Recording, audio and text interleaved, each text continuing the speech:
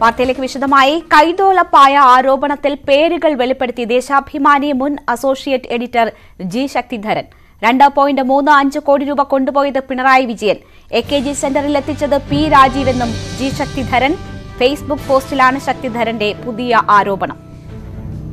ഉമേഷ് ബാലകൃഷ്ണൻ വിവരങ്ങളുമായി ചേരുന്നു. ഉമേഷ് ആദ്യം ഇത് സംബന്ധിച്ചുള്ള ഫേസ്ബുക്ക് പോസ്റ്റിൽ പേരുകൾ വെളിപ്പെടുത്തിയിരുന്നില്ല സാഹചര്യങ്ങളും മറ്റ് വിവരങ്ങളും മാത്രമായിരുന്നു പുറത്തുവിട്ടിരുന്നത്. ഇതിപ്പോൾ പേര് പറഞ്ഞിരിക്കുന്നു. നേരത്തെ ഇതുമായി ബന്ധപ്പെട്ട അന്വേഷണം നടന്നപ്പോഴും കൂടുതൽ വിവരങ്ങൾ വെളിപ്പെടുത്താൻ ശക്തിധരൻ തയ്യാറായിരുന്നില്ല. ഏത് സാഹചര്യത്തിലാണ് പുതിയ വെളിപ്പെടുത്തലുകൾ?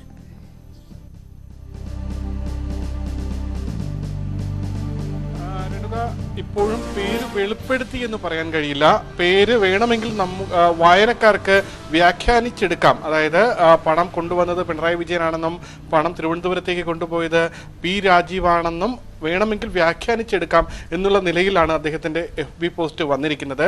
അതായത് ഇപ്പോഴും അദ്ദേഹം ഒരു സുരക്ഷിതമായ സ്ഥാനത്ത് നിന്ന് തന്നെ അതായത് ഒരു ഡിഫമേഷനോ മറ്റോ വന്നു കഴിഞ്ഞാൽ അത് തന്നെ ബാധിക്കാത്ത രീതിയിൽ തന്നെയാണ് ഈ പോസ്റ്റ് ഇപ്പോൾ ഇട്ടിരിക്കുന്നത്. അതായത് നട്ടുച്ചയ്ക്ക് ഇരുട്ടുമോ എന്നുള്ള ചോദ്യത്തോടു കൂടിയാണ് പോസ്റ്റ് തുടങ്ങുന്നത്. രസീതോ രേഖകളോ സുതാര്യമോ സുതാര്യതയോ ഇല്ലാതെ നിഗൂഢമായി എറണാകുളത്തെ കലൂരിലുള്ള ദേശാഭിമാനി ഓഫീസിൽ നിന്ന് രണ്ട് കോടി മുപ്പത്തിയഞ്ച് ലക്ഷം രൂപ രണ്ട് ദിവസം അവിടെ താമസിച്ച് സമാഹരിച്ച് തിരുവനന്തപുരത്തേക്ക് കൊണ്ടുപോയത് അന്നത്തെ പാർട്ടി സെക്രട്ടറി പിണ- പിണറായി വിജയനാണെന്നും അത് തിരുവനന്തപുരത്ത് എ കെ ജി സെന്ററിൽ എത്തിച്ചത് ഇപ്പോഴത്തെ വ്യവസായ മന്ത്രി പി രാജീവാണെന്നും ഞാൻ തുറന്ന് എഴുതിയിരുന്നെങ്കിൽ എന്ത് സംഭവിക്കുമായിരുന്നു എന്ന ചോദ്യമാണ് അദ്ദേഹം മുന്നോട്ട് വയ്ക്കുന്നത്.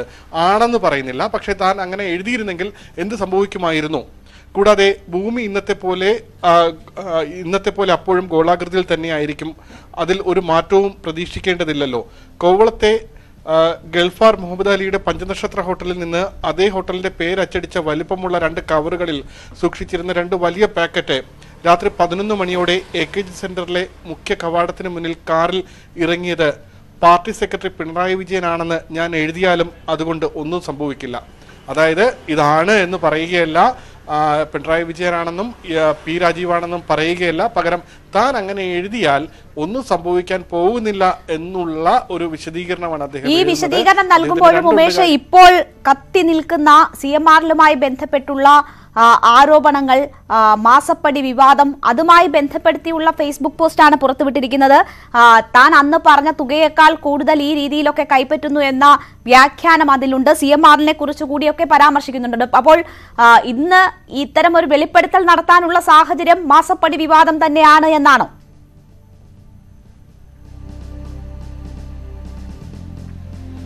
ഒരുപക്ഷെ മാസപ്പടി വിവാദവും ഏറ്റവും അവസാനം എം വി ഗോവിന്ദിന്റെ ഫോട്ടോ കൂടി വെച്ചിട്ടാണ് ഈ പോസ്റ്റ് വരുന്നത്.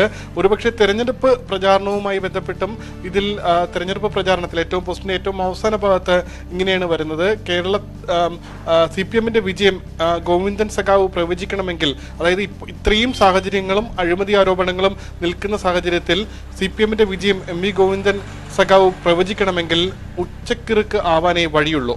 പിണറായി വിജയൻ പറയുന്നതിനപ്പുറം രാജ്യത്ത് ഒന്നും സംഭവിക്കില്ല എന്ന് വിശ്വസിക്കുന്ന മൂടന്മാരെ സൃഷ്ടിച്ചു എന്നതാണ് പിണറായിയുടെ മഹത്വം. ഇതൊക്കെ കണ്ടിട്ടും ഒന്നും സംഭവിച്ചില്ല എന്ന് പറയണമെങ്കിൽ ഉച്ചക്കിറുക്ക് പിടിപെട്ടവനായിരിക്കും. ഫാസിസ്റ്റ് വീഴ്ചകൾക്ക് വീഴ്ചകൾ ഫാസിസ്റ്റ് വാഴ്ചകൾ ഭൂമുഖത്ത് എങ്ങനെ ഉദയം ചെയ്തു എന്നത് ലോകം ലോകത്ത് നേരിൽ കണ്ട പ്രസ്ഥാനം കമ്മ്യൂണിസ്റ്റുകാരുടേതാണ്. എങ്ങനെ പോകുന്നു?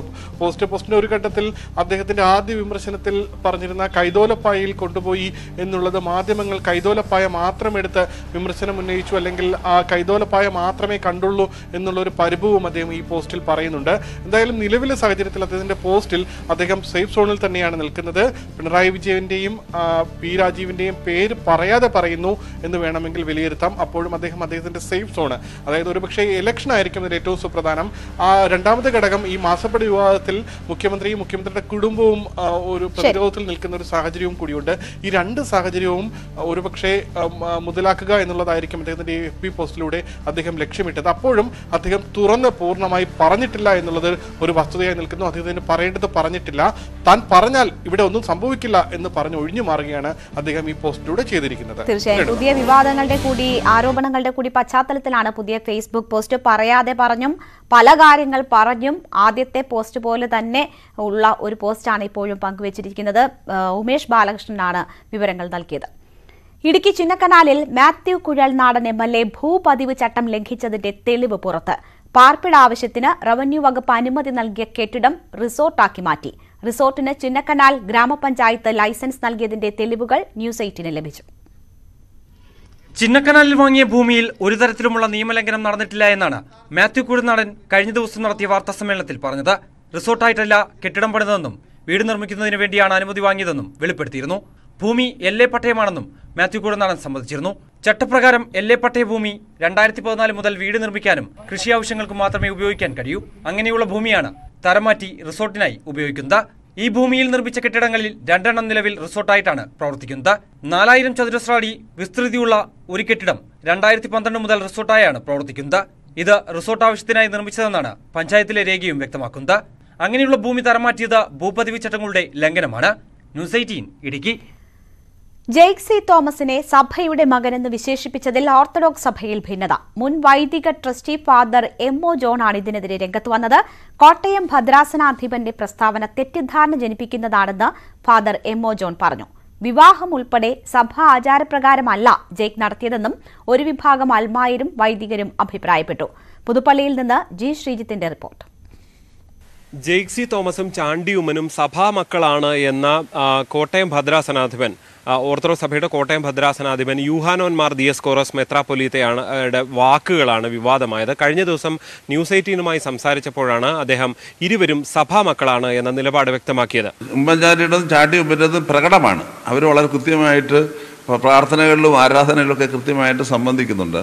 ജയിക്ക് പ്രകടമല്ല പക്ഷേ ഞങ്ങളുടെ വിശ്വാസം അനുസരിച്ച് അദ്ദേഹം ഒരു പള്ളിയിലെ അംഗമാണ് എന്നാണ് ഞാൻ വിശ്വസിക്കുന്നത്. പിന്നെ അത് ആണോ ഇല്ലയോ എന്നുള്ളത് ആ പള്ളിയിലെ വികാരിയൊക്കെയാണ് പറയേണ്ടത്. എനിക്ക് എനിക്ക് അറിയാൻ മേല. ഇനിയാവും രണ്ടുപേരും ഇന്നേവേ ഒരു സഭയിലെ അംഗങ്ങൾ എന്ന നിലയ്ക്ക് ഒരു യാക്കോബായ ഓർത്തഡോക്സ് തർക്കവും വ്യവഹാരങ്ങളും ഒന്നും അവരുടെ ഇലക്ഷനുമായിട്ട് ബന്ധപ്പെടുത്തി ചിന്തിക്കാതിരിക്കുന്നതാണ് നല്ലത്. എന്തായാലും ഈ വാക്കുകൾ പുറത്തു വന്നതിന് പിന്നാലെ ഫാദർ എം ഒ ജോൺ മുൻ വൈദിക ട്രസ്റ്റി എം ഒ ജോൺ രംഗത്ത് വന്നു. ന്യൂസ് എയ്റ്റീനോട് സംസാരിച്ചപ്പോൾ തന്നെ അദ്ദേഹം ഇക്കാര്യത്തിൽ വ്യക്തത വരുത്തുന്നത് ജെയ്ക്സി തോമസ് സഭാംഗമല്ല. അതുകൊണ്ട് തന്നെ അദ്ദേഹം ഒരു വിശ്വാസിയാണ് എന്നും അദ്ദേഹത്തിന്റെ വിവാഹമടക്കം നട- നടന്നത് ഒരു വിശ്വാസപ്രകാരമല്ല എന്നും പറയുന്നു. അങ്ങനെ ഒരാളെ സഭാമക്കൾ എന്ന് വിശേഷിപ്പിക്കുന്നത് ശരിയല്ല എന്നാണ് അദ്ദേഹം വ്യക്തമാക്കിയത്. ഇത് തെറ്റിദ്ധാരണ ഉണ്ടാക്കുന്നതാണ് എന്നും അദ്ദേഹം പറഞ്ഞു. അഭിപ്രായ വ്യത്യാസം ആക്ച്വലി വസ്തുതകൾ അനുസരിച്ച് ജെയ്ക് തോമസ് മലങ്കര സഭ അംഗമല്ല. മലങ്കര ഓർത്തഡോക്സ് സഭ അംഗമല്ല. മലങ്കര ഓർത്തഡോക്സ് അംഗമായിരിക്കണമെങ്കിൽ മലങ്കര സഭയുടെ ഏതെങ്കിലും പള്ളിയിൽ ഒരു അംഗത്വം ഉണ്ടായിരിക്കണം. ഇടവക യോഗ രജിസ്റ്ററിൽ അദ്ദേഹത്തിന്റെ പേരുണ്ടാവണം. അതുപോലെ തന്നെ മാമോദീസ സ്വീകരിച്ചു എന്നുള്ളത് കൊണ്ട് മാത്രം ആൾ സഭാംഗമാകയില്ല.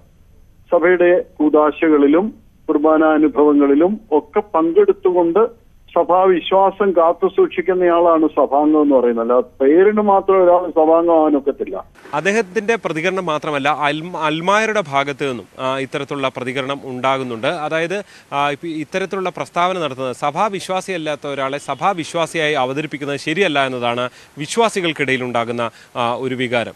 ഓർത്തഡോക്സ് സഭയിലെ ഒരു വിഭാഗമായ പാത്രികേസ് വിഭാഗമായിട്ടാണ് ഭിന്നതയുള്ളതും കേസുള്ളതും. ആ അങ്ങനെ ഭിന്നത ഉണ്ടാക്കി അവരിപ്പോൾ പ്രത്യേക ഒരു സഭയായി യാക്കോബായ സഭയായി രൂപാന്തരപ്പെട്ടു പോയി. അപ്പം ജയിക്കും ആ സഭയിൽ അംഗമായി പോയതാ. ഓർത്തഡോക്സ് സഭയിലെ അംഗമല്ല എന്നുള്ള കാര്യമേ ഞാൻ പറഞ്ഞുള്ളൂ. തിരുമേനിയോട് വിമർശി തിരുമേനിയെ വിമർശിക്കുകയോ ഒന്നും അല്ല ചെയ്ത്. തിരുമേനി അബദ്ധത്തിൽ പറഞ്ഞതായിരിക്കും.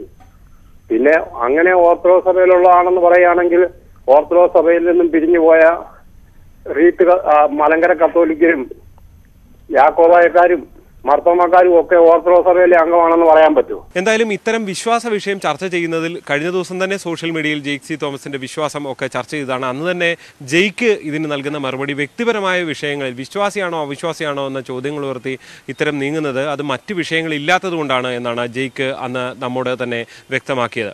നിങ്ങളുടെ വിശ്വാസവും അവിശ്വാസവും നോക്കിയിട്ടാണോ നിങ്ങളുടെ ഞാൻ തിരഞ്ഞെടുക്കേണ്ടത്? നിങ്ങളോടുള്ള എന്റെ അഭിപ്രായം രേഖപ്പെടുത്തേണ്ടത്? നിങ്ങൾ തിരഞ്ഞെടുക്കപ്പെട്ടാൽ ഈ നാട്ടിൽ സത്യസന്ധതയോടുകൂടെ സാമൂഹ്യ പ്രവർത്തനം നടത്തി ജനജീവിതത്തോട് കൂറും വിധേയത്വവും പുലർത്തും. ലോകമെമ്പാടുമുള്ള സാമൂഹ്യ പ്രവർത്തനത്തിന്റെ മാനദണ്ഡമായി നമ്മൾ സ്വീകരിക്കുന്നത് ഇതാണ്. എന്തായാലും പുതുപ്പള്ളി പോലെ വിശ്വാസികൾക്ക് വളരെ പ്രാധാന്യമുള്ളൊരു മണ്ഡലത്തിൽ മിത്തുവാദം വലിയ ചർച്ചയൊന്നും ആയിട്ടില്ല ഇതുവരെ. പക്ഷേ അതിനിടയിൽ ഇത്തരമൊരു വിശ്വാ വിശ്വാസം അതായത് കമ്മ്യൂണിസ്റ്റ് സ്ഥാനാർത്ഥിയുടെ വിശ്വാസം ചർച്ച ചെയ്യപ്പെടുന്നു എന്നുള്ളതാണ് ആത്യന്തികമായി ഇതിൽ ഉണ്ടായിരിക്കുന്ന ഒരു ഫലം. ഇത് ഇടതുമുന്നണി അല്പം പ്രതിരോധത്തിലാക്കിയിട്ടുണ്ട്. അവർ കൂടുതൽ പ്രചരണത്തിലൂടെ ഇതിനെതിരായ പ്രചരണം നടത്തി മുന്നോട്ട് പോകാനാണ് തീരുമാനം. സ്വാഭാവികമായും യാക്കോബായ സഭയുടെ പ്രതികരണവും ഇക്കാര്യത്തിൽ ഉണ്ടാകാനുള്ള സാധ്യതയാണ് നിലനിൽക്കുന്നത്. എന്തായാലും ഈ വിഷയം തെരഞ്ഞെടുപ്പിൽ ഒരു ചൂടേറിയ ചർച്ചയായി സോഷ്യൽ മീഡിയയിലും അല്ലാതെയും സഭാവിശ്വാസികൾക്കിടയിലും ഇതിനകം തന്നെ മാറിക്കഴിഞ്ഞു. Shiju ചവറയ്ക്കൊപ്പം G Sreejith News eighteen Puthuppally. പോരാട്ടച്ചൂടിൽ Puthuppally.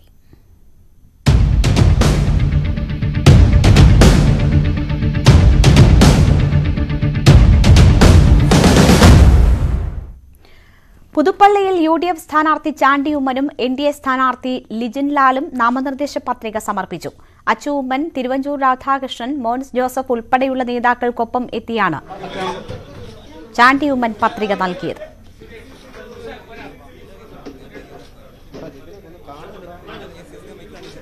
മുഖ്യമന്ത്രിയെ കല്ലെറിയുന്ന ഒരു സാഹചര്യം. ഇനിയൊരു മുഖ്യമന്ത്രിക്കും അങ്ങനെ ഒരു സാഹചര്യം ഉണ്ടാവാൻ പാടില്ല. ഇനിയൊരു രാഷ്ട്രീയ നേതാവിനും എന്റെ അപ്പ വേട്ടയാടപ്പെട്ടതുപോലെ ഒരാളും വേട്ടയാടപ്പെടാൻ പാടില്ല. ഈ തെരഞ്ഞെടുപ്പും അതും ചർച്ചയാണ്. ഇങ്ങനെ ഒരാളെ വ്യക്തിപരമായും കുടുംബപരമായും കുടുംബപരമായും ആക്രമിക്കാൻ പാടുണ്ടോ? ആ ചോദ്യം കേരള പൊതുസമൂഹത്തിന്റെ മുന്നിൽ ഞാൻ ഉന്നയിക്കുകയാണ്. ഇനി ഉണ്ടാവാൻ പാടില്ല എന്നുള്ളതാണ് എന്റെ അഭ്യർത്ഥന. പുതുപ്പള്ളിയിലെ തെരഞ്ഞെടുപ്പിൽ അതും ചർച്ച ചെയ്യണം. പന്ത്രണ്ടരയോടെ ലിജിൻ ലാലും പത്രിക നൽകി. കെ സുരേന്ദ്രൻ കേന്ദ്രമന്ത്രി വി മുരളീധരൻ അനിൽ കെ ആന്റണി ജോർജ് കുര്യൻ അടക്കമുള്ള നേതാക്കൾക്കൊപ്പം എത്തിയാണ് പത്രിക നൽകിയത്.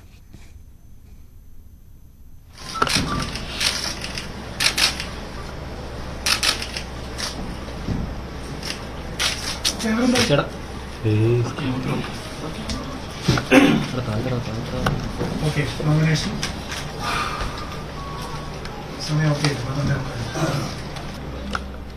ഇടത് സ്ഥാനാർത്ഥിയുടെ പ്രചരണത്തിന്റെ ഭാഗമായി ഇരുപത്തിയൊന്ന് മേഖലാ യോഗങ്ങൾ ഇന്നും നാളെയുമായി നടക്കും. വിവരങ്ങളുമായി നന്ദകുമാറും ഐശ്വര്യ അനിലും ചേരുകയാണ്. ആദ്യം നന്ദനിലേക്ക് നന്ദൻ നാമനിർദ്ദേശ പത്രിക സമർപ്പിക്കാനുള്ള അവസാന ദിവസമാണ് പ്രധാനപ്പെട്ട രണ്ട് മുന്നണിയുടെ നേതാക്കളും പത്രിക സമർപ്പിച്ചിരിക്കുന്നത്. വലിയ ആത്മവിശ്വാസം ചാണ്ടി ഉമ്മൻ പറയുന്നുണ്ടായിരുന്നു. ഒപ്പം ചില സന്ദേശങ്ങളും ഈ അദ്ദേഹം നൽകി ഈ കെട്ടിവെക്കേണ്ട കാശ് ഉൾപ്പെടെ മേടിച്ചത് സി ഒ ടി നസീറിന്റെ അമ്മയിൽ നിന്ന് അതൊക്കെ ഒരു സന്ദേശമായാണ് അദ്ദേഹം അവതരിപ്പിച്ചത്. എന്തൊക്കെയാണ് ചാണ്ടി ഉമ്മൻ പറഞ്ഞത്? യു ഡി എഫ് ക്യാമ്പ് എങ്ങനെയാണ് പ്രചരണം നടത്തുന്നത് എന്ന്?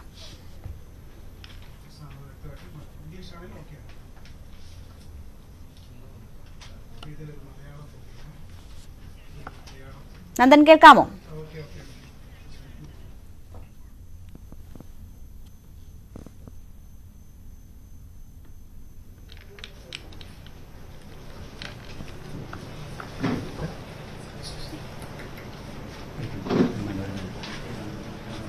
ടൈമിങ്സ് അറിയില്ലല്ലോ നമുക്ക് ഈ പ്രാവശ്യം ഇലക്ഷൻ പ്രഖ്യാപിച്ച മൂന്ന് ഹോളിഡേയ്സ് സാറ്റർഡേ സൺഡേ പിന്നെ ഇന്നലെ ഓഗസ്റ്റ് ഫിഫ്റ്റീൻത് മിനിയാണ് ഇന്ന് ലാസ്റ്റ് ഡേ ജനാധിപത്യ തെരഞ്ഞെടുപ്പാണ്.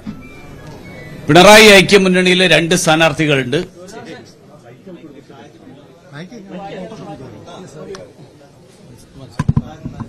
ഭാരതീയ ജനതാ പാർട്ടിയുടെയും ദേശീയ ജനാധിപത്യ സഖ്യത്തിന്റെയും സ്ഥാനാർത്ഥിയായിട്ട് ശ്രീ ലിജിൻലാൽ മത്സരിക്കുന്നു. ഈ രണ്ട് മുന്നണികൾ പിണറായി ഐക്യമുന്നണിയിലെ രണ്ട് സ്ഥാനാർത്ഥികൾ അവരെ പ്രതിദാനം ചെയ്യുന്ന പാർട്ടികൾ അവർ ആശയപരമായിട്ട് അവർ യോജിപ്പിലാണെന്ന് അവർ തെളിയിച്ചു കഴിഞ്ഞു. അത് കള്ളപ്പണ ഇടപാടുകൾ മറച്ചുപിടിക്കുന്നതിലാണെങ്കിലും അഴിമതി മൂടിവെക്കുന്ന കാര്യത്തിലാണെങ്കിലും വിശ്വാസികളെ അവഹേളിക്കുന്ന കാര്യത്തിലാണെങ്കിലും അവരൊറ്റക്കെട്ടാണ്. അതിനെതിരായിട്ടാണ് ഭാരതീയ ജനതാ പാർട്ടിയുടെയും ദേശീയ ജനാധിപത്യ സഖ്യത്തിന്റെയും നിലപാട്. അതുകൊണ്ട് ഈ തെരഞ്ഞെടുപ്പ് അവർ രണ്ടുപേർ സൗഹൃദ മത്സരം നടത്തുന്നു. ഞങ്ങൾ അവർ രണ്ടുപേരെയും ഒരുമിച്ച് എതിർക്കുന്നു. അടക്കമുള്ള വിവാദം അപ്പൊ എന്തായാലും ചർച്ച ചെയ്യാൻ തന്നെയാണോ തീരുമാനം? ആസപ്പടി വിവാദത്തിൽ ഭാരതീയ ജനതാ പാർട്ടിയും ദേശീയ ജനാധിപത്യ സഖ്യവുമാണ് ഈ കാര്യം ആദ്യം ഉന്നയിച്ചത്. ഇപ്പോ വി ഡി സതീശൻ ഒരാഴ്ചയെടുത്തു. ഈ വിവാദം ഈ പ്രശ്നം ഈ തെരഞ്ഞെടുപ്പിൽ ഉന്നയിക്കുമെന്ന് പറയാൻ നിയമസഭയിൽ എന്താ ഉന്നയിക്കാതിരുന്നത്? നിയമസഭയിൽ പിണറായിയുടെ മുഖത്ത് നോക്കി ഉന്നയിക്കാനുള്ള ധൈര്യം യു ഡി എഫിന്റെ നേതാക്കന്മാർക്കില്ല കോൺഗ്രസിന്റെ നേതാക്കന്മാർക്കില്ല. മാത്രമല്ല യു ഡി എഫും എൽ ഡി എഫും ചേർന്ന് ഒറ്റ മുന്നണിയായി നിയമസഭാ സമ്മേളനം നാല് ദിവസം കൊണ്ട് വെട്ടിച്ചുരുക്കിയത് ഈ പ്രശ്നത്തിൽ നിന്ന് രണ്ടു കൂട്ടർക്കും ഒളിച്ചു വെക്കാനുണ്ട് എന്നുള്ളതുകൊണ്ടാണ്. ഭാരതീയ ജനതാ പാർട്ടിക്കും ദേശീയ ജനാധിപത്യ സഖ്യത്തിനും മാത്രമേ ഈ കാര്യത്തിൽ കൃത്യമായിട്ടുള്ള നിലപാടുള്ളൂ. വി മുരളീധരൻ മാധ്യമങ്ങളെ കാണുകയായിരുന്നു. എൽ ഡി എഫും യു ഡി എഫും സൗഹൃദ മത്സരമാണ് പുതുപ്പള്ളിയിൽ നടത്തുന്നത് എന്നാണ് ആരോപണം. ഒപ്പം മാസപ്പടി വിവാദമായിരിക്കും L D F N D എയുടെ പ്രധാന പ്രചരണ വിഷയമെന്ന സൂചനയും അദ്ദേഹത്തിന്റെ വാക്കുകൾ നൽകുന്നുണ്ട്. ഇപ്പോൾ ഞങ്ങളുടെ പ്രതിനിധികൾ അവിടെ നിന്ന് വിവരങ്ങളുമായി ചേരുകയാണ്. നന്ദനും ഒപ്പം തന്നെ ഐശ്വര്യ അനിലുമുണ്ട്. ഐശ്വര്യ നാമനിർദ്ദേശ പത്രിക സമർപ്പിക്കാനുള്ള അവസാന ദിവസമായിരുന്നു ഇന്ന്. പ്രമുഖ നേതാക്കളൊക്കെ പത്രിക സമർപ്പിച്ചു കഴിഞ്ഞിരിക്കുന്നു. എൽ ഡി എഫിന്റെ മേഖലാ സമ്മേളനങ്ങൾ ഇന്ന് ആരംഭിക്കാനിരിക്കുകയാണ്. ഒരു പ്രചാരണം അതിന്റെ ഒരു ഉച്ചസ്ഥായിയിലേക്ക് കടക്കുന്ന സാഹചര്യമാണോ പുതുപ്പള്ളിയിൽ കാണാൻ കാണുന്നത്. തീർച്ചയായും രേണുക.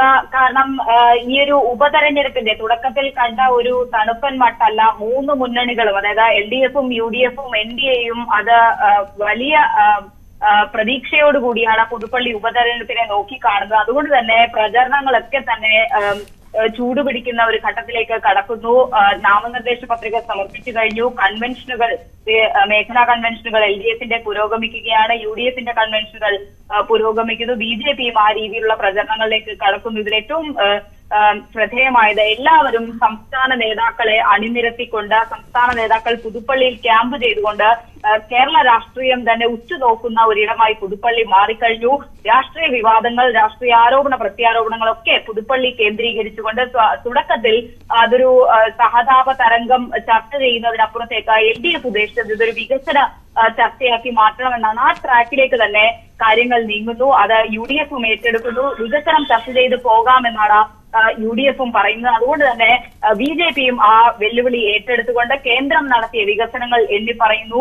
മറുവശത്ത് എൽ ഡി എഫ് ആകട്ടെ ഇതുവരെ ജനങ്ങൾക്കായി നടത്തിയ വികസന പദ്ധതികൾ എണ്ണി പറഞ്ഞുകൊണ്ടുള്ള പ്രചാരണത്തിനാണ് എൽ ഡി എഫ് നേതൃത്വം കൊടുക്കുന്നത്. കഴിഞ്ഞ കാലങ്ങളിൽ ഉമ്മൻചാണ്ടി പുതുപ്പള്ളിയിൽ ചെയ്ത പദ്ധതികൾ എണ്ണി പറഞ്ഞുകൊണ്ടുള്ള പ്രചാരണത്തിനാണ് യു ഡി എഫും നേതൃത്വം കൊടുക്കുന്നത്. അങ്ങനെ ഒരു ആരോപണ പ്രത്യാരോപണങ്ങൾക്ക് അപ്പുറത്തേക്ക് വികസനം കൃത്യമായി പുതുപ്പള്ളിയിൽ ചർച്ച ചെയ്യുന്നു. അതിനപ്പുറത്തേക്ക് മാസപ്പടി വിവാദം എ ഐ ക്യാമറ സപ്ലൈകോയിലെ സാധനങ്ങളുടെ ലഭ്യത കുറവ് വിലക്കയറ്റം തുടങ്ങി എല്ലാ വിഷയങ്ങളും സാധാരണക്കാരെ നേരിട്ടും അല്ലാതെയും ബാധിക്കുന്ന എല്ലാ വിഷയങ്ങളും പുതുപ്പള്ളിയിൽ ചർച്ച ചെയ്യുകയാണ് എന്ന് വേണം ഈ ഘട്ടത്തിൽ പറയാൻ. എന്തായാലും രേണുക സൂചിപ്പിച്ചതുപോലെ തന്നെ പ്രചാരണം അതിന്റെ ഒരു ഉച്ചസ്ഥായിലേക്ക് എത്തുന്നു. ഇനി ദിവസങ്ങൾ മാത്രമാണ് ബാക്കിയുള്ള ആ ദിവസങ്ങളൊക്കെ അങ്ങേയറ്റം പ്രയോജനപ്പെടുത്തി ജനങ്ങളിലേക്ക് ഇറങ്ങിച്ചെന്ന് ഓരോ വോട്ടും ഉറപ്പിക്കുക എന്നുള്ളതാണ് ഓരോ മുന്നണിയുടെയും ലക്ഷ്യം. ശരി. ഐശ്വര്യ അനിലാണ് വിവരങ്ങൾ നൽകിയത്.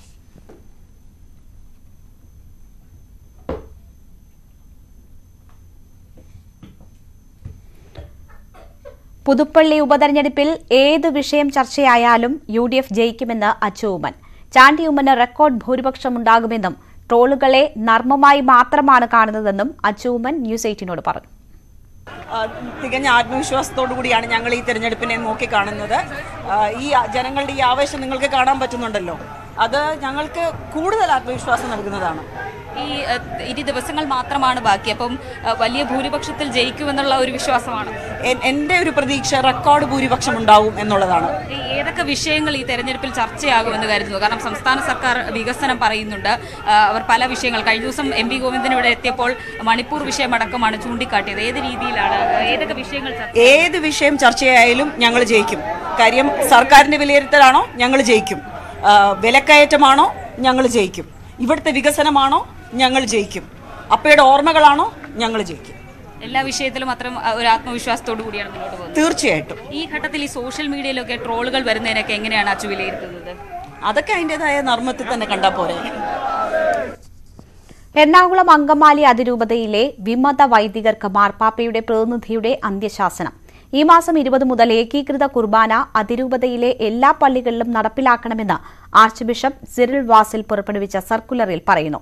വീഴ്ച വരുത്തുന്നവർക്കെതിരെ നടപടിയെടുക്കുമെന്ന് മുന്നറിയിപ്പുമുണ്ട്. രണ്ടായിരത്തി ഇരുപത്തിരണ്ട് മാർച്ച്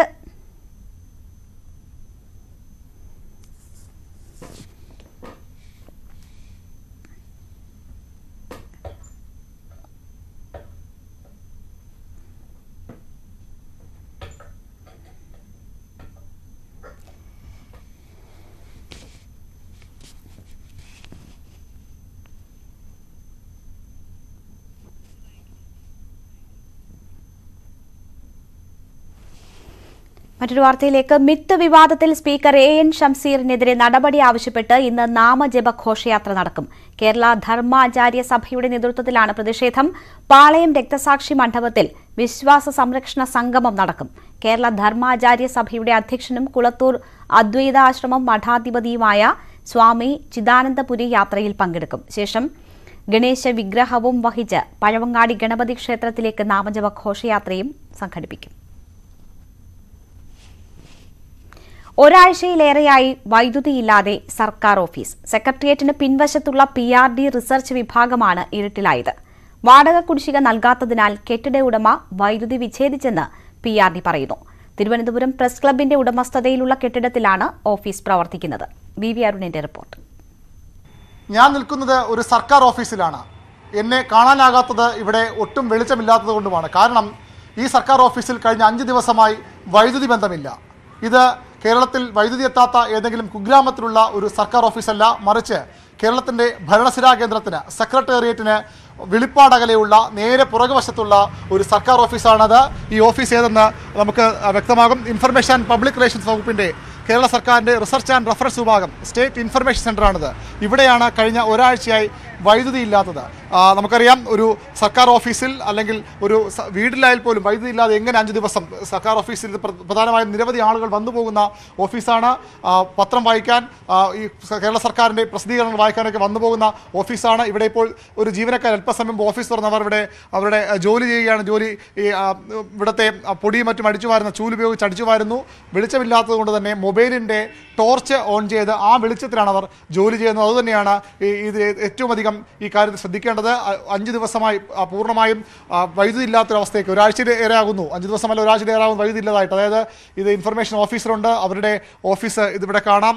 നിരവധി പ്രസിദ്ധീകരണങ്ങൾ ഇവിടെ സർക്കാരിന്റെതായി ഉണ്ട്. അത് വായിക്കാനെത്തുന്ന ആളുകളുണ്ട് പത്രം വായിക്കാനെത്തുന്നവരുണ്ട് പൊതുജനങ്ങൾക്ക് ഉൾപ്പെടെ പത്രം വായിക്കാൻ ഇവിടെ എത്തുന്നവരുണ്ട്. ഈ സർക്കാരിന്റെ പ്രസിദ്ധീകരണങ്ങൾ ജനപദവും കേരള കോളിംഗും അടക്കമുള്ള പ്രസിദ്ധീകരണങ്ങൾ വായിക്കാനായി ഇവിടെ എത്തുന്ന ആളുകളുണ്ട്. സർക്കാരിന്റെ മറ്റ് വികസന പദ്ധതികൾ പ്രഖ്യാപിക്കുന്ന ആ, ഇത് ഇവിടെ നിന്ന് ജനങ്ങൾക്ക് വായിക്കാം അവർക്ക് കൊണ്ടുപോകാം. അത്തരത്തിലെത്തുന്ന ആളുകളുണ്ട്. ആ അങ്ങനെയുള്ള ഒരു ഓഫീസിലാണ് ഈ രീതിയിൽ പൂർണമായും വൈദ്യുതി ബന്ധം വിച്ഛേദിക്കപ്പെട്ടിരിക്കുന്നത്. ഇവിടെ എത്തുന്ന ആളുകൾക്ക് പത്രം വായിക്കാൻ ആകാത്ത സാഹചര്യമുണ്ട്.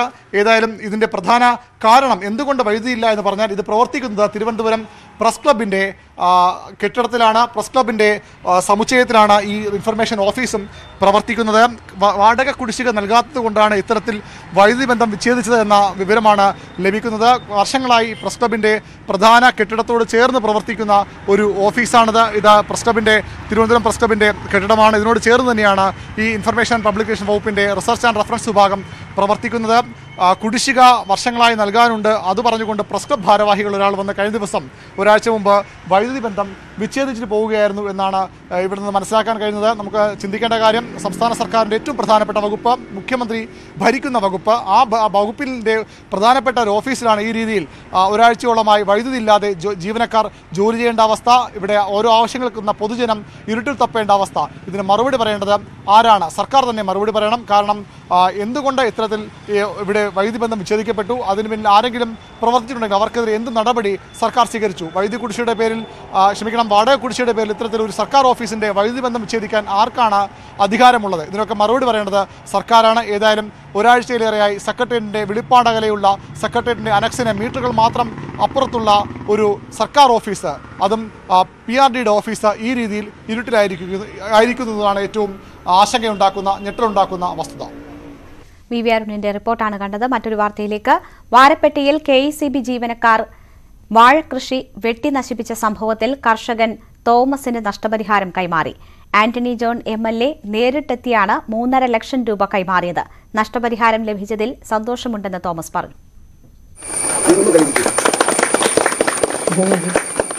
കർഷകൻ തോമസിന്റെ ദുരവസ്ഥ ന്യൂസ് എയ്റ്റീനാണ് ആദ്യമായി പുറം ലോകത്തെ അറിയിച്ചത്. നഷ്ടപരിഹാരം ലഭിച്ചതിൽ സന്തോഷമുണ്ടെന്ന് കർഷകൻ തോമസ്. സന്തോഷമുണ്ട്. സർക്കാരിനും എല്ലാവർക്കും സന്തോഷമുണ്ട്. ഉദ്യോഗസ്ഥന്മാർക്കും എല്ലാവർക്കും സന്തോഷം അറിയിക്കുന്നു. നന്ദി അറിയിക്കുന്നു. കർഷക ദിനത്തിൽ സാധാരണ കർഷകന് ലഭിക്കുന്ന അംഗീകാരമായാണ് ഇതിനെ കാണുന്നതെന്ന് തോമസിന്റെ മകൻ അനീഷും പറഞ്ഞു. ശരിതെറ്റുകൾ ചർച്ച ചെയ്യേണ്ട സാഹചര്യമല്ല ഇപ്പോഴത്തേതെന്നും തോമസിനുണ്ടായ നഷ്ടം പരിഹരിക്കുന്നതിനാണ് സാമ്പത്തിക സഹായം നൽകാൻ തീരുമാനിച്ചതെന്നും M L A Antony John. ഇതിന്റെ ശരിതെറ്റുകൾ ചർച്ച ചെയ്യേണ്ട ഒരു സമയമല്ല ഇപ്പോൾ അദ്ദേഹത്തെ സംബന്ധിച്ചാണെങ്കിൽ ഏറെ ഹൃദയവേദനയോട് കൂടിയിട്ടാണ് ആ ഒരു സംഭവത്തെ നോക്കിക്കണ്ടിട്ടുള്ളത് ഇതിന് കെ എസ് തന്നെ ഒരു പരിഹാരം കണ്ടെത്തണമെന്നുള്ള നിർദ്ദേശം ഉയർന്നു വരികയും അങ്ങനെ മൂന്നര ലക്ഷം രൂപ ഇദ്ദേഹത്തിന് ഒരു സാമ്പത്തിക സഹായം എന്നുള്ള നിലയിൽ മാനുഷിക പരിഗണന വെച്ചുകൊണ്ട് നൽകാൻ വേണ്ടി തീരുമാനിക്കുകയും ആ തുക കൈമാറുന്നതിന് വേണ്ടിയിട്ടാണ് ഇന്ന് ഈ ചിങ്ങം ഒന്നിന് കർഷക ദിനത്തിൽ തന്നെ ഈ പ്രിയപ്പെട്ട കർഷകന്റെ വീട്ടിൽ ഞങ്ങൾ എല്ലാവരും എത്തിയത്. തോമസിന്റെ കൃഷിയിടത്തിന് മുകളിലൂടെ കടന്നു പോകുന്ന ഇരുന്നൂറ്റി ഇരുപത് കെ വി ലൈനിന് താഴെയുള്ള നാനൂറ്റിയാറ് ഏത്തവാഴകളാണ് മുന്നറിയിപ്പില്ലാതെ കെ എസ് സി ബി ജീവനക്കാർ വെട്ടിനശിപ്പിച്ചത്. വാഴയില ലൈനിൽ മുട്ടിയെന്നായിരുന്നു വിശദീകരണം. ഓണവിപണി ലക്ഷ്യമിട്ട് കൃഷി ഇറക്കിയ കർഷകന് ലക്ഷങ്ങളുടെ നഷ്ടമാണ് ഉണ്ടായത് ന്യൂസ് എയ്റ്റീൻ വാർത്തയെ തുടർന്നാണ് കൃഷിമന്ത്രിയും വൈദ്യുതി മന്ത്രിയും വിഷയത്തിൽ ഇടപെട്ടത്. News eighteen Kochi. ഡോക്ടർ വന്ദനാദാസിന്റെ കൊലപാതകം സിബിഐ അന്വേഷിക്കണമെന്ന ഹർജിയിൽ ആവശ്യമായ രേഖകൾ നൽകണമെന്ന് പ്രോസിക്യൂഷനോട് ഹൈക്കോടതി. സാക്ഷി മൊഴികൾ ഉൾപ്പെടെയുള്ള രേഖകൾ വന്ദനാദാസിന്റെ മാതാപിതാക്കളുടെ അഭിഭാഷകന് നൽകണമെന്നാണ് നിർദ്ദേശം. ഇക്കാര്യം നൽകാമെന്ന് സർക്കാർ അഭിഭാഷകൻ ഹൈക്കോടതിയെ അറിയിച്ചു. തുടർന്ന് ഹർജി പരിഗണിക്കുന്നത് അടുത്ത ബുധനാഴ്ചയിലേക്ക് മാറ്റി. ആറ്റിങ്ങലിൽ യുവാവിനെ മർദ്ദിച്ച് കൊലപ്പെടുത്തി. വക്കം സ്വദേശി ശ്രീജിത്താണ് മരിച്ചത്. ലഹരി മാഫിയകൾ തമ്മിലുള്ള ഏറ്റുമുട്ടലാണ് മരണ ഏറ്റുമുട്ടലിലാണ് മരണമുണ്ടായതെന്നാണ് സൂചന. ബുധനാഴ്ച രാത്രി പന്ത്രണ്ട് മണിയോടെ ഊരാംപൊയ്കയിൽ സ്വദേശികളായ അഖിൽ വിനീത് എന്നിവരാണ് ശ്രീജിത്തിനെ ആറ്റിങ്ങൽ താലൂക്ക് ആശുപത്രിയിൽ എത്തിച്ചത്. കുഴഞ്ഞു വീണു എന്നാണ് ആശുപത്രി അധികൃതരെ അറിയിച്ചത്. ഡോക്ടറുടെ പരിശോധനയിൽ മരണം സ്ഥിരീകരിക്കുകയായിരുന്നു. ഇയാളുടെ ശരീരത്തിൽ പലയിടത്തും മർദ്ദനമേറ്റ പാടുകളുണ്ടായിരുന്നു മർദ്ദിച്ച് കൊലപ്പെടുത്തിയതാണെന്നാണ് പ്രാഥമിക നിഗമനം. മഹാരാജാസ് കോളേജിൽ കാഴ്ച പരിമിതിയുള്ള അധ്യാപകനെ അപമാനിച്ച സംഭവത്തിൽ പോലീസ് അധ്യാപകന്റെ മൊഴി രേഖപ്പെടുത്തും. കോളേജിൽ നേരിട്ടെത്തിയാണ് മൊഴി രേഖപ്പെടുത്തുക. അധ്യാപകനെ അപമാനിച്ച വിദ്യാർത്ഥികൾക്കെതിരെ കോളേജ് അധികൃതർ കൊച്ചി സെൻട്രൽ പോലീസിൽ ഇന്നലെ പരാതി നൽകിയിരുന്നു.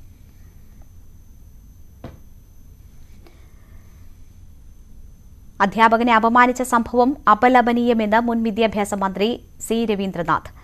ആരും ആരെയും വേദനിപ്പിക്കരുതെന്നതാണ് നമ്മുടെ സംസ്കാരം. ഇത്തരം സംഭവം ആവർത്തിക്കരുതെന്നും ഇത് എല്ലാവർക്കും ഒരു പാഠമാണെന്നും രവീന്ദ്രനാഥ് കൊച്ചിയിൽ പറഞ്ഞു. ഒരിക്കലും അങ്ങനെയൊന്നും ഉണ്ടാവരുത്. ആരും ആരെയും പരസ്പരം വേദനിപ്പിക്കരുത്.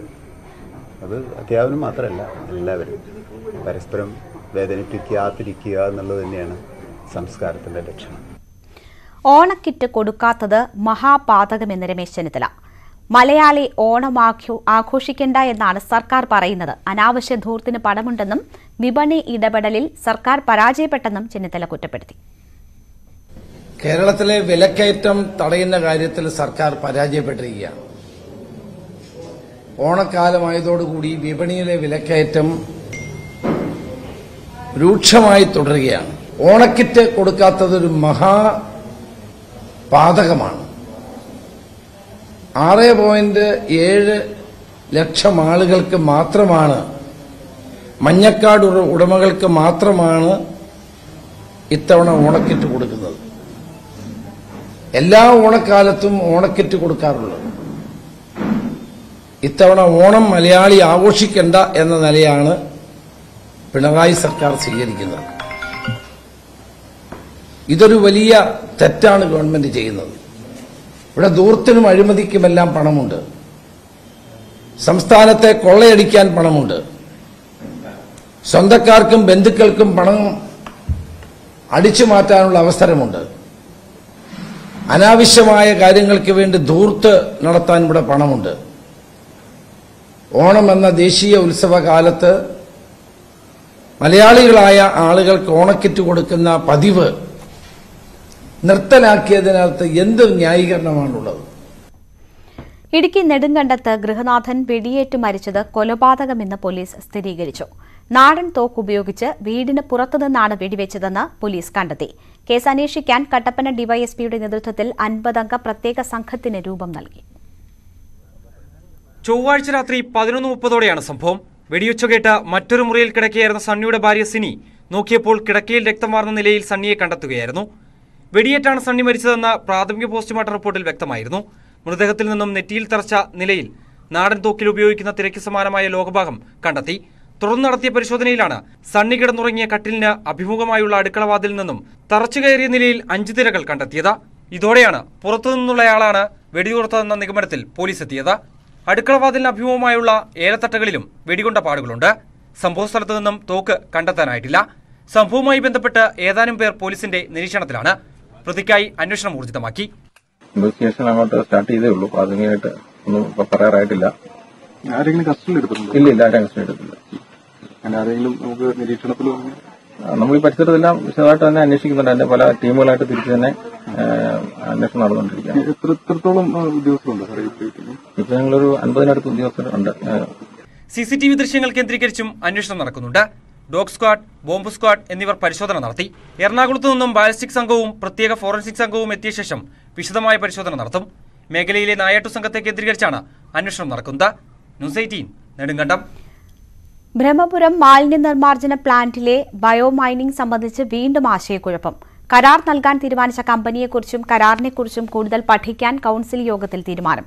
കൂടിയാലോചനകളില്ലാതെ കരാർ നടപ്പാക്കാൻ ശ്രമിക്കുന്നതിൽ ദുരൂഹതയുണ്ടെന്ന് പ്രതിപക്ഷം കൌൺസിലിൽ ആരോപിച്ചു. ബ്രഹ്മപുരം മാലിന്യ പ്ലാന്റിലെ ബയോ മൈനിങ് കരാർ വീണ്ടും വിവാദത്തിലേക്ക് നീങ്ങുകയാണ്. മാലിന്യം ബയോ മൈനിങ്ങിലൂടെ സംസ്കരിക്കുന്നതിനുള്ള നിരക്ക് അൻപത്തഞ്ച് കോടിയിൽ നിന്ന് നൂറ്റി പത്തൊൻപത് കോടിയിലേക്ക് ഉയർന്നതിനെ കൗൺസിൽ യോഗത്തിൽ പ്രതിപക്ഷം ചോദ്യം ചെയ്തു. യോഗ്യത നേടിയ ഭൂമി ഗ്രീൻ എനർജിയുടെയും സിഗ്മ ഗ്ലോബൽ എൻവയോൺമെന്റ് സൊല്യൂഷൻസിന്റെയും പ്രവർത്തനശേഷിയിലും പ്രതിപക്ഷം സംശയം പ്രകടിപ്പിച്ചു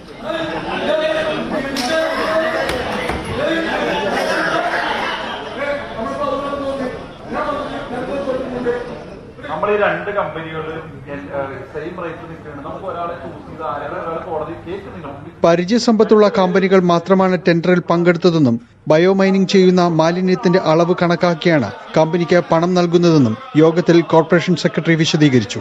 കരാറിലെ വ്യവസ്ഥകൾ ദുരൂഹമാണെന്നും കോർപ്പറേഷൻ ഇതിൽ അനാവശ്യമായി തിടുക്കം കാണിക്കുകയാണെന്നും പ്രതിപക്ഷം ആരോപിക്കുന്നു. ഇത് ഒരു കച്ചവടമായി മാറുന്ന രീതിയിലേക്കാണ് പോകുന്നത്. കാരണം വെച്ചാൽ കൗൺസിൽ ഇതിനെക്കുറിച്ച് ഒരു ചർച്ചയും ഇല്ലാതെ ഈ എഗ്രിമെന്റ് അംഗീകരിക്കുന്നതിന് വേണ്ടി മാത്രമല്ല ടെൻഡർ ടെൻഡർ അംഗീകരിക്കുന്നതിന് വേണ്ടി മാത്രമാണ് ഇപ്പോൾ വരുന്നത് കൗൺസിലിൽ അത് വരുന്നത് പതിനാലാം തീയതി രാത്രിയാണ് അജണ്ട വരുന്നത്. അതിനുശേഷം പതിനഞ്ചാം തീയതി മുടക്ക് പതിനാറാം തീയതി അടിയന്തര കൗൺസിൽ വിളിക്കുമ്പോൾ ഇതൊന്നും പഠിക്കാനോ ഇത്രയും കോടിക്കണക്കിന് രൂപയുടെ ഒരു അജണ്ട പഠിക്കാനോ മനസ്സിലാക്കാനോ സാധിക്കാതെ ഇത് അടിയന്തരമായി പാസ്സാക്കുക എന്നുള്ള ധൃതി കാണുമ്പോൾ ഇതിലൊരു കച്ചവട കണ്ണ് കാണുന്നുണ്ട്.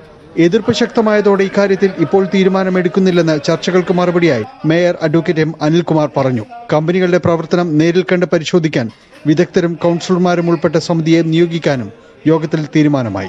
News eighteen Kochi. മണിപ്പൂർ സംഘർഷങ്ങളുമായി ബന്ധപ്പെട്ട കേസുകൾ അന്വേഷിക്കാൻ സിബിഐ അൻപത്തിമൂന്ന് അംഗ സംഘത്തെ നിയോഗിച്ചു. ജോയിന്റ് ഡയറക്ടർ ഘനശ്യാം ഉപാധ്യായ ഉപ- ഉപാധ്യായയ്ക്കാണ് അന്വേഷണത്തിന്റെ മേൽനോട്ട ചുമതല. സംഘത്തിലെ മൂന്ന് ഡി ജി പിമാരിൽ രണ്ടുപേരടക്കം ഇരുപത്തിയൊൻപത് വനിതാ ഉദ്യോഗസ്ഥരാണുള്ളത്. ഇത്രയേറെ വനിതാ ഉദ്യോഗസ്ഥരുള്ള അന്വേഷണ സംഘം രാജ്യത്ത് ആദ്യമാണ് കലാപവുമായി ബന്ധപ്പെട്ട പതിനൊന്ന് കേസുകൾ സിബിഐ അന്വേഷിക്കും. ഹിമാചൽ പ്രദേശിൽ മഴക്കെടുതിയിൽ മൂന്ന് ദിവസത്തിനിടെ നഷ്ടമായത് എഴുപത്തിയൊന്ന് ജീവൻ. ഇരുപതോളം പേരെ കാണാതെയായി.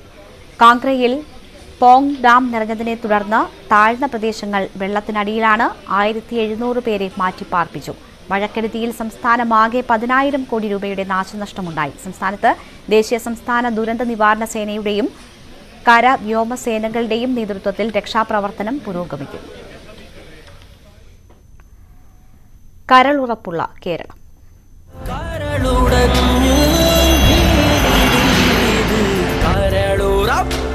പ്രളയഭൂമികളിലൂടെ കരളുറപ്പുള്ള കേരളം. പിട്ടാപ്പിള്ളിൽ ഏജൻസീസ് കരളുറപ്പുള്ള കേരളം. നിങ്ങൾക്കായി സമർപ്പിക്കുന്നത്?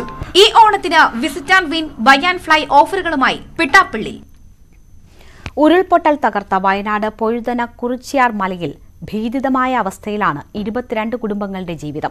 അശാസ്ത്രീയമായ പുനരധിവാസ പദ്ധതിയാണ് ഈ ദുരിതത്തിന് കാരണമെന്ന് ഇവർ പറയുന്നു. രണ്ടായിരത്തി പതിനെട്ടിലും രണ്ടായിരത്തി പത്തൊമ്പതിലും ഉരുൾപൊട്ടലുണ്ടായ പ്രദേശമാണിത്. ഏറ്റവും കൂടുതൽ കെടുതിയുണ്ടായത് പൊഴുതന കുറിച്ചേർമല മേൽമുറി പ്രദേശത്താണ്. പുനരധിവാസത്തിനായി പത്ത് ലക്ഷം രൂപ നഷ്ടപരിഹാരം പ്രഖ്യാപിച്ചെങ്കിലും അത് അപര്യാപ്തമായതിനാൽ മറ്റൊരിടത്തേക്ക് മാറാൻ ഇവിടുത്തുകാർക്ക് പലർക്കുമായില്ല. ഈ തുക കൊണ്ട് സുരക്ഷിത മേഖലയിൽ വീട് കണ്ടെത്താനാകില്ലെന്നാണ് കാരണം. തോട്ടം തൊഴിലാളികളുടെ ചില കുടുംബങ്ങൾ മാത്രം പത്ത് ലക്ഷം രൂപ കൈപ്പറ്റി സ്ഥലം വിട്ടുപോയി. അതേസമയം പുനരധിവാസ പദ്ധതിയെക്കുറിച്ച് വ്യാപകമായ ആക്ഷേപമുയർന്നു. റെഡ് സോണിൽ നിന്ന് അകലെയുള്ള കുടുംബങ്ങളെ കുടിയൊഴിപ്പിക്കുന്ന തരത്തിൽ അശാസ്ത്രീയമാണ് പുനരധിവാസ പദ്ധതിയെന്നാണ് ആരോപണം. മഴക്കാലമായതോടെ കടുത്ത ആശങ്കയിലാണ് Kurichyar മലക്കാർ. News eighteen Wayanad. Chandrayaan മൂന്നിന്റെ നിർണായക ഘട്ടം വിജയം പ്രൊപ്പൽഷൻ മൊഡ്യൂളിൽ നിന്ന് ലാൻഡർ വേർപെട്ടു. അടുത്ത ഘട്ടമായ ഡി ബൂസ്റ്റിംഗ് നാളെ വൈകിട്ട് നാലിന് നടക്കുമെന്ന് ഐ എസ് ആർഒ അറിയിച്ചു.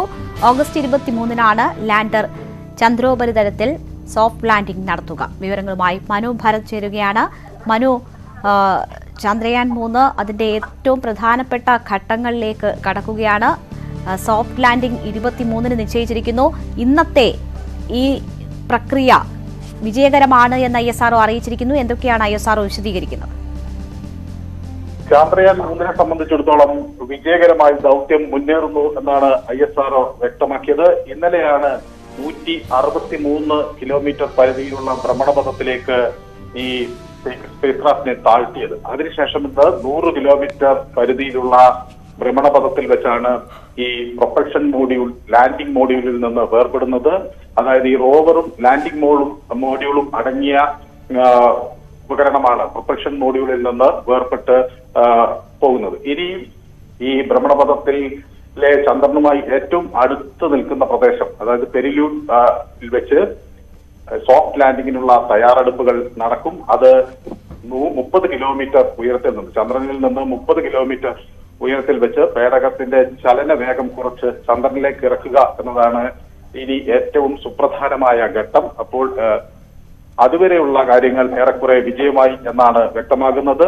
ഇനി കഴിഞ്ഞ തവണ നമുക്കറിയാം ഈ അവസാന ഘട്ടത്തിലാണ് ചന്ദ്രയാൻ രണ്ട് അതിന്റെ കൺട്രോൾ ഇവിടെ നിന്ന് നഷ്ടപ്പെടുകയും ഒപ്പം പിന്നീട് സിഗ്നലുകൾ നഷ്ടമാകുകയും ഒക്കെ ചെയ്തത് അപ്പൊ ആ ഘട്ടത്തിലേക്ക് ഇനി കടക്കുകയാണ്. ഇന്ത്യയെ സംബന്ധിച്ചിടത്തോളം ഏറ്റവും നിർണായകപരമായ ഘട്ടം. ചന്ദ്രോപരിതലത്തിന് ലംബമാക്കി ഇനി മുപ്പത് കിലോമീറ്റർ ഉയരത്തിലേക്ക് പേടകം എത്തും. അവിടെ നിന്നായിരിക്കും സോഫ്റ്റ് ലാൻഡിങ്ങിനുള്ള തയ്യാറെടുപ്പുകൾ നടത്തുക. ഓഗസ്റ്റ് ഇരുപത്തി മൂന്നിന് വേണ്ടിയുള്ള കാത്തിരിപ്പാണ് ശാസ്ത്രലോകത്തെ സംബന്ധിച്ചിടത്തോളം രാജ്യത്തിന് ഏറ്റവും അഭിമാനകരമായ നിമിഷമാണ്. ഇന്ന് ഇപ്പൊ മുപ്പത്തിമൂന്നാം ദിവസമാണ്. ജൂലൈ പതിനാലിന് വിക്ഷേപിച്ച ചന്ദ്രയാൻ അതിന്റെ മുപ്പത്തിമൂന്നാമത്തെ ദിവസവും വിജയകരമായി ദൗത്യം തുടരുന്നു എന്നതാണ് ഏറ്റവും സന്തോഷകരമായ വാർത്ത. ഏറ്റവും സന്തോഷകരമായ വാർത്തയാണ്. മനു നാളെയും ഒരു നിർണായക ഘട്ടമുണ്ട്. ഡി ബൂസ്റ്റിംഗ് നാളെ വൈകിട്ട് നാലിന് നടക്കുമെന്നാണ് ഐ എസ് ആർഒ അറിയിക്കുന്നത്. ആ ഘട്ടം എന്താണ്?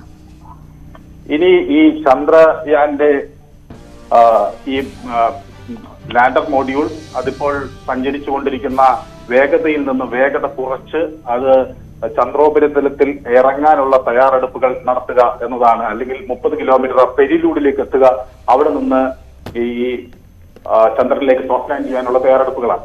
അപ്പോൾ അതിനു അതിനുവേണ്ടിയുള്ള ഇതിന്റെ വേഗത നിയന്ത്രിക്കുകയും പിന്നീട് ഈ കൃത്യമായ ദക്ഷിണ ധ്രുവം ലക്ഷ്യമാക്കി നീങ്ങാനും വേണ്ടിയുള്ള ബൂസ്റ്റിംഗ് ഡീബൂസ്റ്റിംഗ് പരിപാടികളാണ് ഇനി ദൗത്യമാണ് ഇനി നടക്കേണ്ടത്.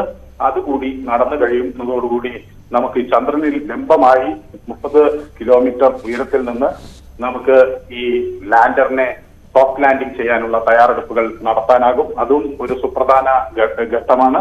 ഇനിയുള്ളത് ഏറ്റവും നിർണായകരമായ നിമിഷങ്ങളാണ്. ഈ ഡീ ബൂസ്റ്റിംഗ് ചെയ്തതിന് ശേഷമാണ് ഈ സോഫ്റ്റ് ലാൻഡിങ്ങിനുള്ള പ്രക്രിയകൾ നടക്കുക. ആ സോഫ്റ്റ് ലാൻഡിങ്ങിന് ശേഷമായിരിക്കും റോവർ ലാൻഡറിൽ നിന്ന് ഇറങ്ങി ചന്ദ്രോപരിതലത്തിൽ അതിന്റെ പരിവേഷണം നടത്തുക. അപ്പോഴായിരിക്കും നമുക്ക് ഇത് സംബന്ധിച്ചുള്ള ചന്ദ്രന്റെ ധാതുക്കളെ സംബന്ധിച്ചും ചന്ദ്രനിൽ നിന്ന് നമുക്ക് ആവശ്യമുള്ള രശ്മികളെ സംബന്ധിച്ചും ഒക്കെയുള്ള ഡാറ്റ നമുക്ക് അതിനുശേഷമാകും ലഭ്യമാകും കൃത്യമായി വേഗത കുറച്ച് സോഫ്റ്റ് ലാൻഡിങ്ങിനുള്ള നിർണായക നിമിഷങ്ങളിലേക്ക് കുറച്ചുകൂടി അടുത്തിരിക്കുന്നു ദൗത്യം. ഏറ്റവും സന്തോഷകരമായ നിമിഷങ്ങൾ എന്നാണ് ഐ എസ് ആർ ട്വീറ്റ് ചെയ്യുന്നത്. മനു ഭരത്താണ് വിശദാംശങ്ങൾ നൽകിയത്.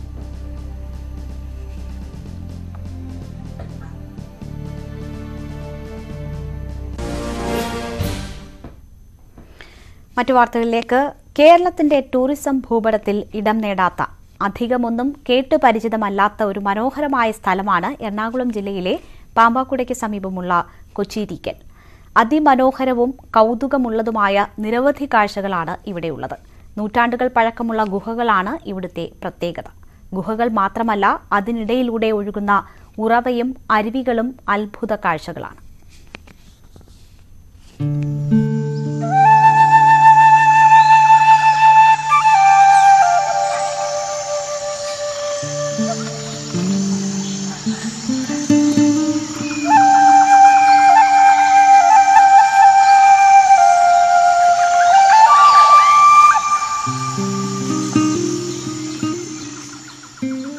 കൊച്ചരീക്കൽ ഗുഹയാണിത്. എറണാകുളം ജില്ലയുടെ കിഴക്കൻ പ്രദേശമായ പാമ്പാക്കുടയ്ക്ക് സമീപമുള്ള അധികമാരും കേട്ടിട്ടില്ലാത്ത ഒരു ചെറിയ വിനോദസഞ്ചാര കേന്ദ്രം. കൊച്ചി നഗരത്തിൽ നിന്നും ഏകദേശം നാൽപ്പത്തിരണ്ട് കിലോമീറ്റർ മാറി. പിറവം ടൗണിൽ നിന്നും പത്ത് കിലോമീറ്റർ മാത്രം ദൂരെയുള്ള ഒരു ചെറിയ ഗ്രാമം. അതിമനോഹരമാണ് ഈ പ്രദേശം. പ്രത്യേകിച്ച് ഞാനിപ്പോൾ നിൽക്കുന്ന ഈ ഗുഹ ഒരു കൂറ്റൻ ചീനിമരത്തിന്റെ വേരാണ് ഇതിനെ പൊതിഞ്ഞ് സംരക്ഷിക്കുന്നത് ഈ ഗുഹയെ ഇതിന് നിരവധി ചരിത്രമുണ്ട്. തിരുവിതാംകൂർ നാട്ടുരാജ്യത്തിന് മുൻപുള്ള വടക്കുംകൂർ നാട്ടുരാജ്യത്തിന്റെ നാട്ടുരാജാക്കന്മാർ അവരുടെ പടക്കോപ്പുകൾ സൂക്ഷിച്ചിരുന്ന ഒരു ഗുഹയാണിത്.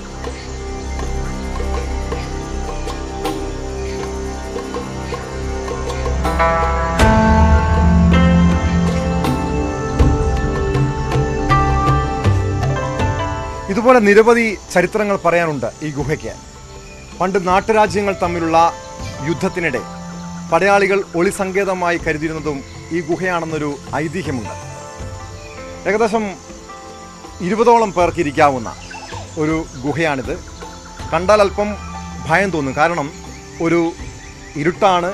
പക്ഷെ ഇരുട്ടാണെങ്കിലും പ്രകൃതി നൽകുന്ന ചെറിയൊരു പ്രകാശം അതുമാത്രമാണ് ഈ ഗുഹയ്ക്കുള്ളിലുള്ളത്. ഇഴജന്തുക്കളൊന്നും കയറാതെ അത്രയ്ക്കും ഒരു സംരക്ഷിത സ്വഭാവം ഈ ഗുഹയ്ക്കുണ്ട്. സാധാരണ ദിവസങ്ങളിൽ നിരവധി വിനോദസഞ്ചാരികൾ പ്രാദേശിക വിനോദസഞ്ചാരികൾ ഇവിടെ എത്തുന്നുണ്ട്. അധികമാരും കേട്ടറിവില്ലാത്ത ഒരു സ്ഥലമായതുകൊണ്ട് തന്നെ വലിയൊരു ജനക്കൂട്ടം ഇവിടെ കാണാൻ കഴിയില്ല. പക്ഷെ എങ്കിൽ പോലും അവധി ദിവസങ്ങളിൽ തൊട്ട് സമീപത്തുള്ള അരീക്കൽ വെള്ളച്ചാട്ടത്തിലെത്തുന്നവർ ഇവിടെയും അവരുടെ ഒഴിവ് സമയം ചെലവഴിക്കാൻ എത്തുന്നുണ്ട്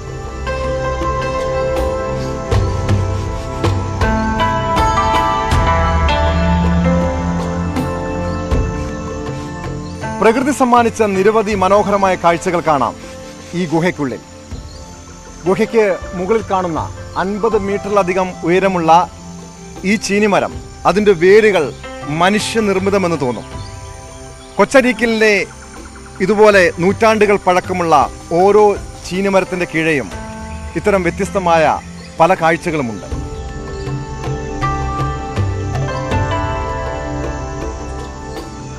ഈ മരത്തിന് കീഴിലെ മറ്റൊരു ഗുഹയാണിത്. ഈ ഗുഹയ്ക്കുള്ളിൽ നിന്നും ഒരു അത്ഭുത ഉറവ ഒഴുകുന്നുണ്ട്. ഈ ഉറവ സംഗമിക്കുന്നത് ഈ ഒരു ചെറിയ അരുവിയിലാണ്. ഈ അരുവിയിൽ നിന്നും സദാസമയം അതായത് വേനൽക്കാലത്ത് പോലും ഇതുപോലെ വെള്ളം ഒഴുകും. ഈ വെള്ളം ചെന്ന് പതിക്കുന്നത് ഈ കൊച്ചരീക്കലിലെ ഒരു വലിയ കുളത്തിലാണ്.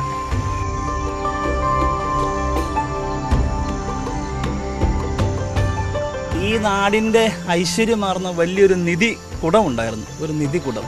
ആ നിധി കുടത്തിന് ഒരു പാമ്പ് കാവൽ നിൽക്കുമായിരുന്നു. അപ്പോൾ പാമ്പ് കാവൽ നിൽക്കുന്ന നിധികുടമുള്ള അതായത് പാമ്പും കുടമുള്ള ഒരു നാട് എന്ന നിലയ്ക്കാണ് പാമ്പും കൂടെ പരിണമിച്ച് പരിണമിച്ച് പാമ്പാക്കുട എന്ന പേരായതെന്നാണ് കാരണന്മാരൊക്കെ പറയണത്. അപ്പോൾ ഒരു ചരിത്രപരമായ പശ്ചാത്തലമുണ്ട്. ആ പശ്ചാത്തലം ഒരു ഒരു അവശേഷിപ്പാണ് ഈ പറയുന്ന കൊച്ചരിക്കൽ കൊച്ചരിക്കലിന് ഒരു ചീനിമരം പരമാവധി അൻപത് മീറ്റർ വരെ ദൂരത്തിൽ ഉയരും എന്നാണ് പറയുന്നത് ഇത് അൻപത് മീറ്ററോളം ഉയർന്നേക്കുവാണ്. ഇതിന്റെ വലിപ്പം നമുക്ക് അളക്കാനുള്ള ഒരു അപ്പോൾ ഇത് ഇതൊരു ഒരു വലിയ അത്ഭുതമാണ്.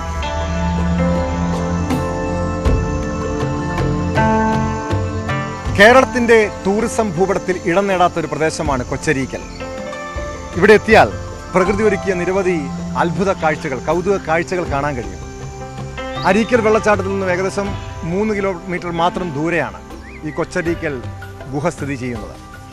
സർക്കാരിന്റെയും അതോടൊപ്പം ടൂറിസം വകുപ്പിന്റെയും സഹായം ലഭിച്ചാൽ ഒരുപക്ഷെ എറണാകുളം ജില്ലയിലെ ഒരു പ്രധാന ടൂറിസം കേന്ദ്രമായി ഭാവിയിൽ ഇത് മാറാനുള്ള സാധ്യതയുമുണ്ട്. ശ്യാംലാലിനൊപ്പം കൊച്ചരീക്കൽ ഗുഹയിൽ നിന്നും ടോം കുര്യാക്കോസ് ന്യൂസ് എയ്റ്റീൻ. പുതുവർഷത്തെ വരവേറ്റ് മലയാളികൾ.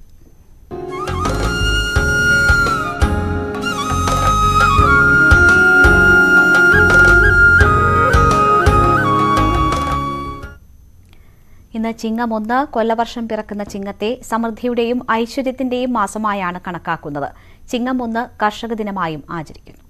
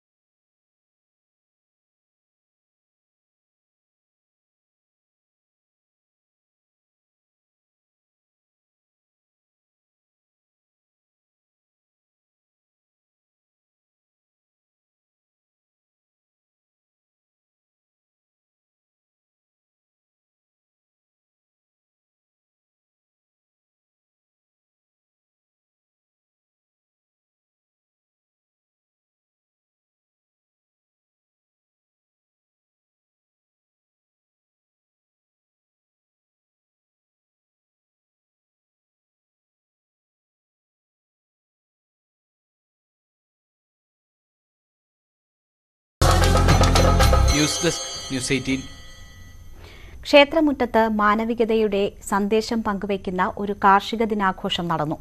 കർഷക ദിനത്തോടനുബന്ധിച്ച് പെരിന്തൽമണ്ണ ആനമങ്ങാട് ശ്രീകുന്നിന്മേൽ ഭഗവതി ക്ഷേത്രത്തിലാണ് ഒന്നാം വിള കൊയ്ത്തുത്സവവും രണ്ടാം വിള നടീലയജ്ഞവും തട്ടകത്തിലെ ഇരുന്നൂറോളം വരുന്ന എഴുപത് കഴിഞ്ഞ കർഷക പ്രതിഭകളെ ആദരിക്കൽ ചടങ്ങും നടന്നത്. ചടങ്ങിൽ ദേശീയ ചലച്ചിത്ര അവാർഡ് നേടിയ നഞ്ചിയമ്മ വിശിഷ്ടാതിഥിയായി പങ്കെടുത്തു. ചിങ്ങം ഒന്നിന് കർഷക ദിനത്തിൽ നാടിന് മാതൃകയാകുന്ന ആർക്കും മാതൃകയാക്കാവുന്ന ഒരു കാര്യമാണ് ആനമങ്ങാട് കുന്നിൽ ഭഗവതി ക്ഷേത്രത്തിന്റെ മുൻപിൽ നടന്നത്. ക്ഷേത്രത്തിന്റെ അധീനതയിലുള്ള പാടത്ത് നടിയുത്സവവും അതുപോലെ കൊയ്ത്തുത്സവവും. അതോടൊപ്പം തന്നെ നാട്ടിലെ എഴുപത് വയസ്സിന് മുകളിൽ പ്രായമുള്ള എല്ലാ കർഷകരെയും ആദരിക്കുന്ന ഒരു ചടങ്ങ് മാതൃകാപരമായ ചടങ്ങ്. ജാതി മത ഭേദവ്യത്യാസമില്ലാതെ കർഷകരാണെങ്കിൽ അവരെ ആദരിക്കേണ്ടത് ഈ ദിനം തന്നെയാണെന്ന് ക്ഷേത്രം ഭാരവാഹികൾ നിശ്ചയിച്ചു. അതുപോലെ തന്നെ ഈ ഒരു സംരംഭത്തിന് പിന്തുണയുമായി ആലിപ്പറമ്പ് പഞ്ചായത്തും കൃഷി വകുപ്പും എല്ലാം ഒന്നിച്ചെത്തി. M L A Najeeb Kanthapuram ചടങ്ങിൽ പ്രധാന പ്രസംഗം നടത്തി. അതേപോലെ നഞ്ചിയമ്മ ചലച്ചിത്ര പിന്നണി ഗായികയായ നാട്ട് നാടൻപാട്ട് ഗായികയായ നഞ്ചിയമ്മ ഈ ചടങ്ങിനെത്തുകയും രണ്ടുപേർ പാടുകയും ആളുകളോട് സംസാരിക്കുകയും അവരുടെ അനുഭവങ്ങൾ പങ്കുവെക്കുകയും ചെയ്തു. അത്തരത്തിൽ വളരെ രസകരമായ ഈ ഒരു കർഷക ദിനത്തിൽ ഈ നാട് ഒന്നാകെ ആഘോഷമാക്കുന്ന ഒരു കാഴ്ചയാണ് ഈ കുന്നിൽ ഭഗവതി ക്ഷേത്രത്തിന് മുൻപിൽ നടന്നത്. ആദ്യം നമുക്ക് നഞ്ചിയമ്മയുടെ പാട്ടും അത് അവർ പറഞ്ഞ കാര്യങ്ങളും ഒന്ന് കേൾക്കേണ്ടതുണ്ട്. Barakata bunga mera bugu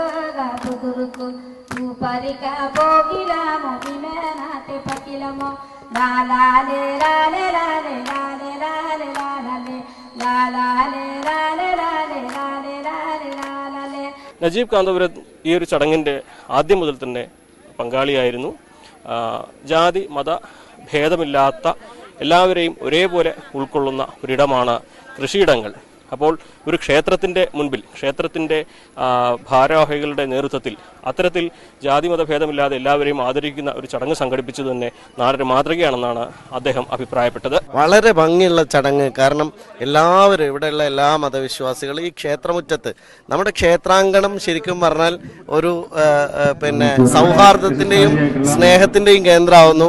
അവിടെ മുതിർന്ന കർഷകരെല്ലാം ഒരുമിച്ച് കൂടുന്നു. അതിൽ ജാതിയില്ല മതമില്ല. എല്ലാ വിശ്വാസികളും ഇവിടെ ഉണ്ട് എല്ലാ മതക്കാരും ഉണ്ട്.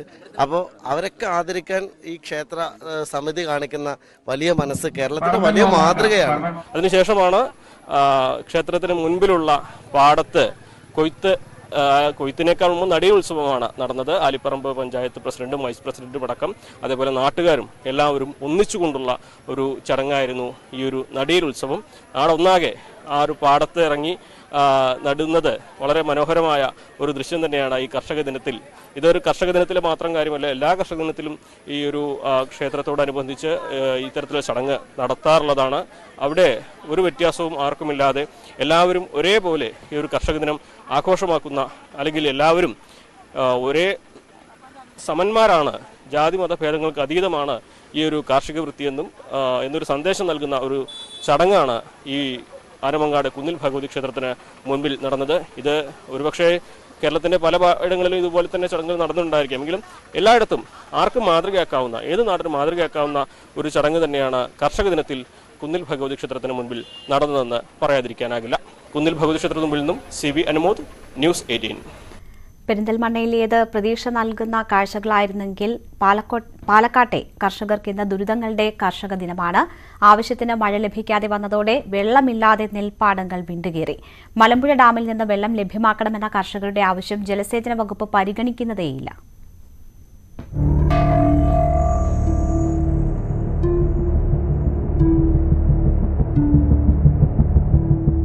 തിരിമുറിയാതെ മഴ പെയ്യേണ്ട കാലമാണ് കടന്നുപോയത്.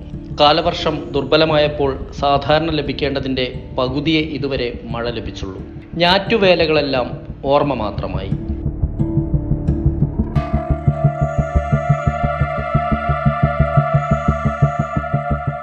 പാലക്കാടൻ പാടങ്ങൾ വെള്ളം ലഭിക്കാതെ വിണ്ടുകീറി തുടങ്ങി.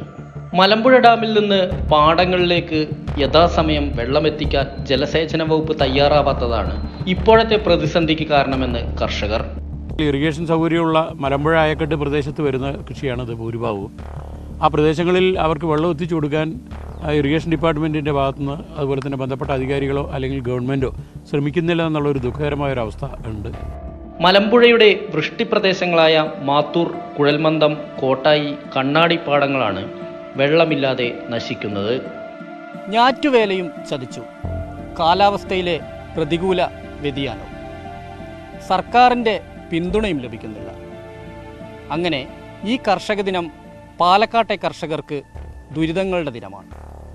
Cameraman Prajith കൊങ്ങാടിനൊപ്പം S Vinesh Kumar News eighteen Palakkad.